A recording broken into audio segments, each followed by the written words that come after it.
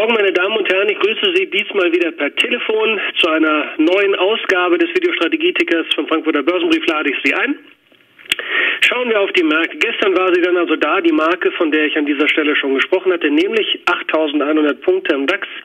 Der Schlusskurs lag sogar fast auf den Punkt genau auf dieser Marke. Eigentlich hatte sich der Markt recht stabil gezeigt, gestern Vormittag. Dann aber setzte Schwäche ein ab Nachmittag oder ab Mittag und schließlich ging der deutsche Leitindex dann ziemlich genau auf dem Tagestief aus dem Börsentag. Die Nebenwerteindizes waren auch etwas schwächer, aber nicht ganz so stark wie der DAX. Ja, die Wall Street war gestern eher auf der positiven Seite, die Indizes eher äh, auf der Gewinnerseite, zumindest äh, die großen, die hier generell oder häufig beachtet werden, betrachtet werden. Beim S&P 500 waren es plus 0,84 Prozent. Das ergibt charttechnisch äh, eine ziemlich interessante Ausgangssituation, denn mit dem jüngeren Rücksetzer ist der S&P 500 auf seinen Aufwärtstrend angekommen. Gelingt jetzt der Dreh nach oben, wäre das entsprechend positiv. Hält der Trend nicht, dann gibt es eine etwas längere Pause beziehungsweise ein Einpendeln. Das kann man nicht ganz ausschließen. Dramatisieren muss man es indes auch nicht. Dieser breite Index ist allein innerhalb der letzten sechs Monate ja von etwa 1400 ähm, auf etwa 1680 Punkte gestiegen in diesem Zeitraum. Und das ist natürlich schon eine recht stramme Performance, wo man dem Sprinter auch mal eine kleine Pause gönnen darf. Ein Thema war gestern natürlich die EZB. Man blieb beim bisherigen Leitzinsniveau. Das war allerdings laut Bloomberg auch weitgehend so erwartet worden. Von 59 befragten Ökonomen hatten 57 mit der Zinsentscheidung gerechnet, wie sie denn auch kam. Der Nachrichtendienst berichtete über die Erwartung von Draghi dass man bis Jahresende wieder auf Wachstumskurs gehen würde oder könne, auch wenn ein großes Tempo nicht zu erwarten ist. Ja, von der EZB auch gleich rüber über den Atlantik zur Fed, also zur amerikanischen Notenbank. Auch hierzu berichtet Bloomberg über eine Umfrage im Kontext des künftigen Vorgehens beim Quantitative Easing Programm. Derzeit werden ja 85 Milliarden Dollar pro Monat in den Markt gepumpt. Die mediane Erwartung unter 59 Ökonomen zeigt auf, dass diese Käufe reduziert werden könnten auf 65 Milliarden Dollar pro Monat. Dies könnte greifen oder beschlossen werden im Geldpolitischen Ausschuss in der Sitzungsrunde am 29. bis 30. Oktober. Der Rotstift könnte dann sowohl bei Staatsanleihen als auch bei hypothekenbesicherten Papieren äh, angesetzt werden. Prinzipiell geht es auch in Ordnung. Man darf ja nicht erwarten, dass die Notenbank den Hahn immer weiter laufen lässt. Es ist nur normal und auch eigentlich von der Sache her gesund, wenn man irgendwann sich wieder bewegt in Richtung Normalität. Ähm, grundsätzlich dürfte die Fed aber bei diesem Manöver sehr sensibel vorgehen. Ich glaube nicht, dass man hier auf kurze Sicht äh, größere Ängste haben muss. Wenngleich natürlich auf längere Sicht es für den Markt natürlich schon eine gewisse Herausforderung sein wird, wenn die Notenbank eben entsprechend weniger Liquidität in den Markt hineingibt und der Markt somit ja auch auf eigenen Füßen ähm, oder mehr auf eigenen Füßen stehen muss. Ein kurzer Schlaglicht noch zu Gold. Indien hat den Importzoll für Gold nach Angaben des Manager-Magazins von 6 auf 8 Prozent hochgefahren. Das ist nun mal die zweite Anhebung in diesem Jahr. Und natürlich ist es auch ein Gegenwind für die physische Goldnachfrage in diesem ja wirklich wichtigen Nachfrageland. Im Moment sieht Gold auch charttechnisch so aus, dass das jüngere Tief äh, nochmal getestet werden könnte.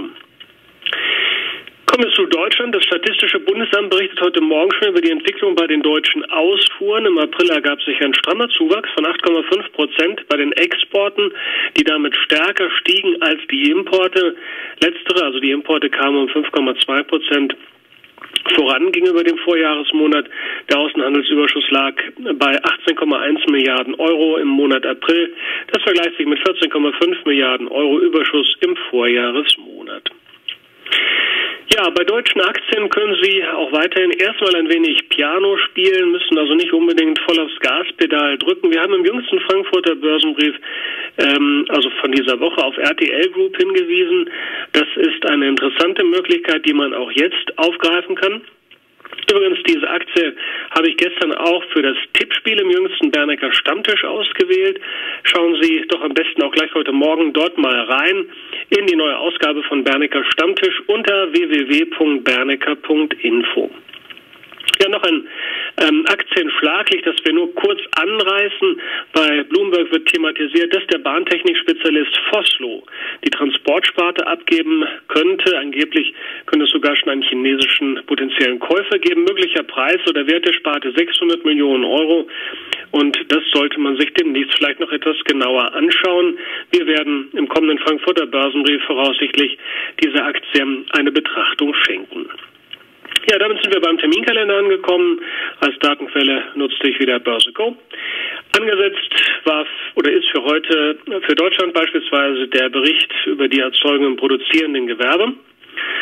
Aus den USA gibt es eine ganze Reihe von Meldungen, und besonders wichtig sind natürlich die Daten heute vom amerikanischen Arbeitsmarkt. Der Arbeitsmarktbericht, der offizielle Arbeitsmarktbericht steht für heute an. Das heißt, es wird Informationen geben über die Zahl der neu geschaffenen Stellen außerhalb der Landwirtschaftsbranche. Außerdem die Informationen über die Arbeitslosenquote, die durchschnittlichen Stundenlöhne und Wochenstunden.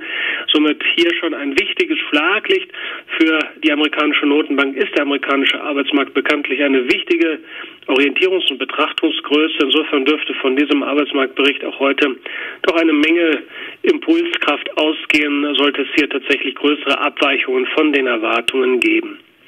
Außerdem für heute Abend unserer Zeit noch, noch angesetzt aus den USA die Entwicklung oder die Informationen über die Entwicklung bei den Verbraucherkrediten.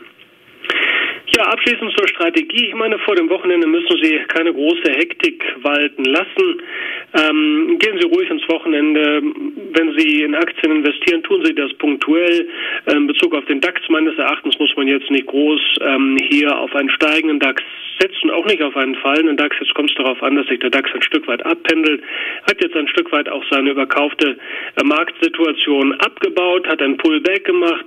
Bei ungefähr 8000 äh, läge eine 50 Prozent Korrektur auf den vorherigen Anstieg, der ja sehr steil war.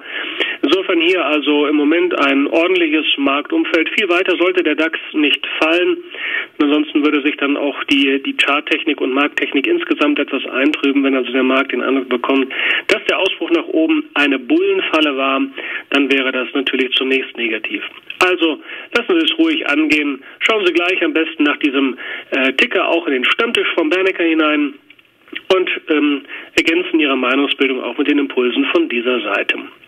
Schön, dass Sie dabei waren. Das war's schon wieder. Ihnen ein richtig schönes und sonniges Wochenende. Ihr Walter Tissen.